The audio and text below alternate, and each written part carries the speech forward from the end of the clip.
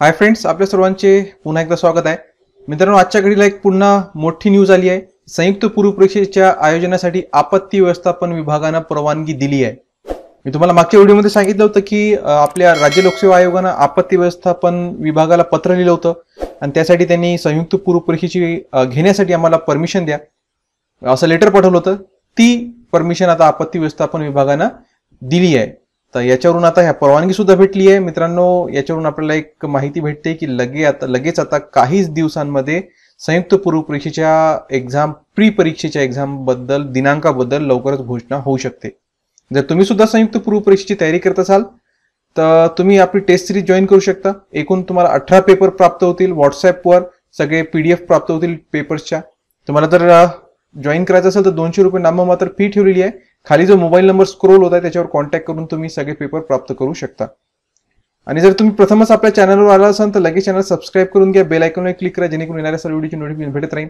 आणि मित्रांनो व्हिडिओला लाईक करणे विसरत जाऊ नका आणि मित्रांपर्यंत सुद्धा शेअर करत जा.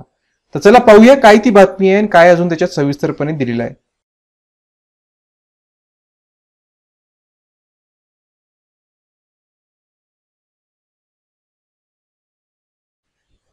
आजच्या पेपरमध्ये आलाय की एमपीएससीच्या संयुक्त पूर्व परीक्षेचा चेंडू मुख्यमंत्र्यांच्या कोर्टात आपत्ती व्यवस्थापन विभागाकडून हिरवा कंदील. म्हणजे आपत्ती व्यवस्थापन विभागाने याला परमिशन देऊन टाकली आहे आणि आता हा कोणाच्या कोर्टात आहे? म्हणजे मुख्यमंत्र्यांच्या आहे. आता ते नाममात्र मुख्यमंत्र्यांच्या कोर्टात आहे मित्रांनो. जर आपत्ती व्यवस्थापन विभागाने परमिशन देऊन दिली तर फक्त लो राज्य लोकसेवा आयोग हा स्वतंत्र आहे. तो आता घेण्यास स्वतः सुद्धा आयोजित करू शकतो किंवा मुख्यमंत्र्यांच्या आदेशाची वाट सुद्धा पाहू शकतो. परंतु आता ते बंधनकारक नाहीये. ओके यांनी जरी म्हटलंय की ते मुख्यमंत्र्यांच्या कोर्टात आहे परंतु हा स्वतंत्र असतो राज्य लोकसेवा आयोग त्यांना फक्त आपत्ती व्यवस्थापन कारण की एक आपत्ती सध्या आलेली आहे. त्याच्यामुळे त्यांना ती व्यवस्थापन विभागाकडून परमिशन पाहिजे होती आणि ते आता भेटलाय. तर न्यूज काय पाहूया आपण? की राज्य लोकसेवा आयोगाच्या एमपीएससी संयुक्त पूर्व परीक्षा गट ब च्या परीक्षा राज्याच्या आपत्ती व्यवस्थापन विभाग खात्याने हिरवा कंदील दिला असून या परीक्षेच्या तारखेचा चेंडू आता मुख्यमंत्र्यांच्या कोर्टात आहे. राज्यात कोरोनाचा प्रभाव कमी होताच राज्य व केंद्र शासनाच्या वतीने घेण्यात येणाऱ्या विविध स्पर्धा परीक्षा व प्रवेश परीक्षांच्या तारखांची घोषणा करण्यात आली आहे. मात्र दोन वर्षापासून रखडलेल्या एमपीएससी संयुक्त पूर्व परीक्षा गट ब परीक्षेची तारीख राज्य सरकारकडून अद्यापही जाहीर करण्यात न आल्याने सरकारच्या हेतूवरच शंका उपस्थित केली जात आहे. एमपीएससीने संयुक्त पूर्व परीक्षेसाठी आपत्ती व पुनर्वसन विभागाकडे ना हरकत प्रमाणपत्रासाठी पत्रव्यवहार केला आहे. मात्र आपत्ती व्यवस्थापन विभागाकडून परवानगी न मिळाल्याने अद्यापही परीक्षेची तारीख जाहीर केलेली नसल्याचे आयोगाकडून सांगण्यात येत होते. म्हणजे पूर्वीची आहे बरं का? म्हणजे अद्याप त्यांना आपत्ती व्यवस्थापन विभागाकडून प्राप्त झालं नव्हतं असं ते म्हणायचे. परंतु आता आपत्ती व्यवस्थापन विभागाने परीक्षेला हिरवा कंदील दिला असून परीक्षेच्या पुढील कार्यवाहीसाठी आयोगाचे पत्र मुख्यमंत्री कार्यालयाकडे वळते केले आहे. त्यामुळे परीक्षेच्या तारखेचा अंतिम निर्णय हा मुख्यमंत्री घेणार आहेत. असं जरी असलं तरी आता राज्य लोकसेवा आयोग एम पी एस सी हा निर्णय घेऊ शकतो जरी मुख्यमंत्र्यांच्या आदेशाला जरी टाइम लागला परंतु तो मुख्यमंत्र्यांच्या आदेशाची त्यांना गरज नाहीये. तरी सुद्धा असं या न्यूजमध्ये सांगण्यात आलं आहे की हा आता मुख्यमंत्र्यांकडे गेला आणि मुख्यमंत्री सुद्धा मित्रांनो पॉझिटिव्ह आहे. एक्झाम नक्कीच लवकर होणार कारण जे जी आर निघाले इतके फास्ट जी आर निघाले आहेत आणि ज्या सूचना सूचना आपल्या विधानसभेच्या सत्रामध्ये उपमुख्यमंत्र्यांनी त्यांना केल्या त्याच्यावरून आपल्याला हे लक्षात येते की लवकरच आता ही डिक्लेअर होणार. ही एक्झाम डेट आपल्या लवक- लवकरच आपल्यासमोर येणार आहे आणि टाइम टेबल सुद्धा पुढच्या एक्झामचा सुद्धा आपल्यासमोर येऊन जाईल.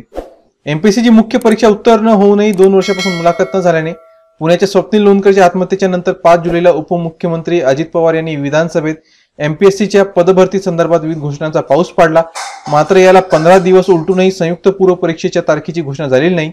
राज्य सरकार कोरोनाची स्थिती सध्या नियंत्रणात असतानाही परीक्षा घेत नसणारे सरकार आणखी किती बळी हवी आहेत असा संतप्त सवाल विद्यार्थी प्रतिनिधी व स्टुडंट्स राईट्स असोसिएशनचे उमेश कोराम यांनी उपस्थित केला आहे बिलकुल बरोबर आहे मित्रांनो. केंद्र शासन एक्झाम घेत आहे.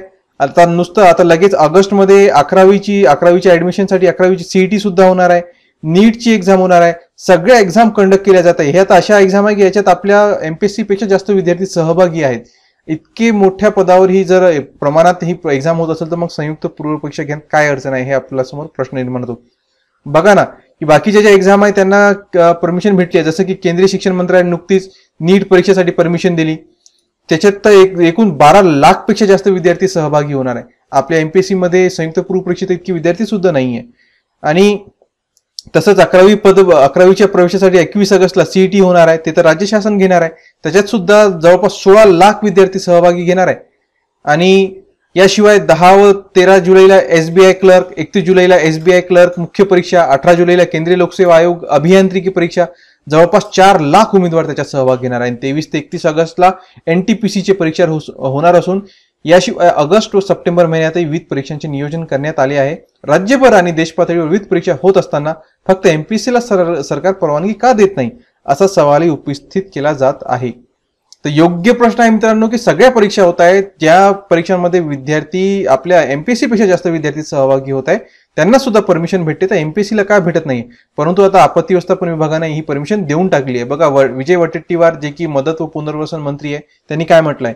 की संयुक्त पूर्व परीक्षेच्या पत्रावर आमच्या विभागाने मान्यता दिली असून पुढील कार्यवाहीसाठी ते मुख्यमंत्र्याकडे पाठवण्यात आलं आहे. आणि खात्रीशीर राहा उद्या किंवा परवाच मुख्यमंत्र्यांनी परमिशन दिली म्हणून हा स्टेटमेंट नक्की येणार आहे मित्रांनो कारण की मुख्यमंत्री थोडे पॉझिटिव्ह आहेत आणि राज्याच्या दृष्टिकोनातून किंवा विद्यार्थ्याच्या दृष्टिकोनातून ते चांगला विचार करणारे मुख्यमंत्री आपल्याला लाभलेले आहे तर आपण अपेक्षा करू की उद्याच किंवा परवा मुख्यमंत्र्यांकडून पॉझिटिव्ह न्यूज आपल्याला प्राप्त होईल. जशी ती न्यूज कळते मी तुम्हाला नक्कीच आपल्या चॅनलद्वारे सांगेन. तर आजच्या व्हिडिओसाठी इतकंच. धन्यवाद.